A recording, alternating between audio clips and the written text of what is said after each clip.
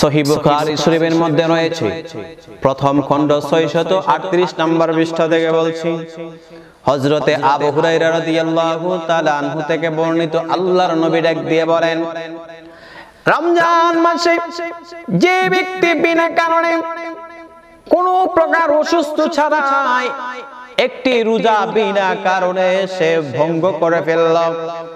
এই বিনা কারণে রোজাটা ভঙ্গ করার কারণে এই ব্যক্তিটা রমজানের বাহিরে কিয়ামত পর্যন্ত যদিও সে রোজা রাখে, আল্লাহ পাক রব্বুল আলামিন রমজান মাসে যে রোজাটা ভঙ্গ করেছে, তার সব পরিমাণ আল্লাহ কখনো তাকে সওয়াব দিবেন না।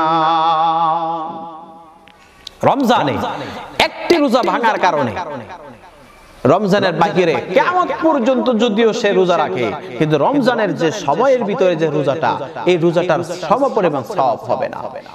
হে আমার দেশবাসী, যারা আজকে এই ভিডিওটি দেখতেছেন, আমি আপনাদেরকে অনুরোধ করব, বিনা কারণে আপনারা রোজা ভাঙবেন না। বিনা কারণে আপনারা কখনোই রোজা ভাঙবেন না।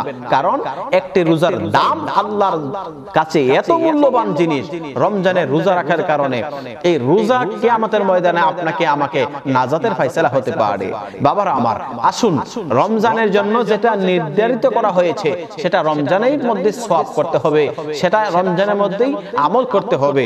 রমজানের মধ্যে একটা রোজা রাখা যে সোয়াব আর অন্য মাসে সেটা সত্তরটা রোজা রাখার সেম সোয়াব। আল্লাহ পাক রব্বুল আলামিন আমাদের সবাইকে রমজান মাসে রোজা রাখার সঠিক তথ্য সঠিক বুঝ আল্লাহ আমাদের সবাইকে দান করুন। মহব্বতে বলুন আমিন।